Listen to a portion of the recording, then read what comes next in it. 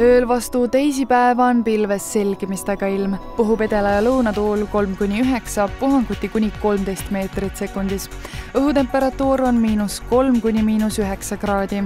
teisipäeva päeval on samuti pilves selgimistega ilm ja võib sadada lund puhub lõuna- ja edalatuul neli kuni üheksa, puhanguti kuni neliteist meetrit sekundis. külma on neli kuni seitse kraadi kolmapäeva öösel on vahelduva pilvisusega ilm ja kohati sajab vähest lund. puhub lõuna- ja kagutuul viis kuni üksteist meetrit sekundis. külma on üheksa kuni viisteist kraadi. päeval pilvisus tiheneb ja hakkab lund sadama ning tuiskab. puhub kagutuul viis kuni kaksteist, puhanguti kuni viisteist meetrit sekundis. külma on viis kuni kümme kraadi.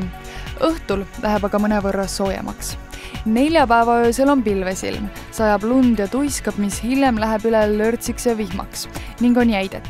puhub kagutuul viis kuni kaksteist, puhanguti kuni kaheksateist meetrit sekundis. külma on üks kuni seitse kraadi. päeval on pilves selgimistega ilm, sajab lund, lörtsi ja vihma ning esineb jäidet õhtul aga sadu lakkab. tuul puhub lõunasse ja edelasse puhudes viis kuni kümme, puhanguti kuni viisteist meetrit sekundis. õhutemperatuur tõuseb nulli kuni pluss viie kraadini